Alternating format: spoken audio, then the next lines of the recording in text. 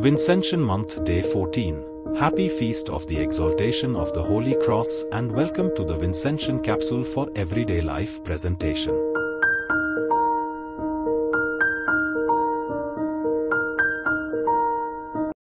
My dear brothers and sisters, as we continue our reflections during this Vincentian month, let us turn our thoughts to the cross of Christ, which holds deep significance in our Christian journey.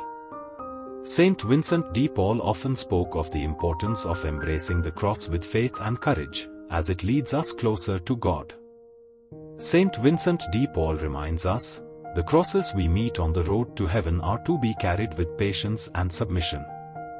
Jesus in Matthew 16:24 said, Then Jesus said to his disciples, Whoever wants to be my disciple must deny themselves and take up their cross and follow me.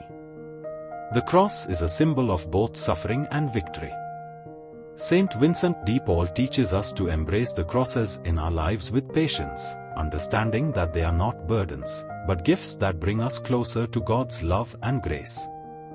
When we accept life's challenges with faith and humility, we are transformed by the power of the cross, finding strength in Christ's example of endurance and love. Let us pray. Lord, Grant us the grace to carry our crosses with patience and faith, just as your Son did for us. Help us to understand that through the cross, we grow in holiness and love for you. May we follow the example of Saint Vincent de Paul, finding strength in the crosses we encounter in our journey to you. Amen.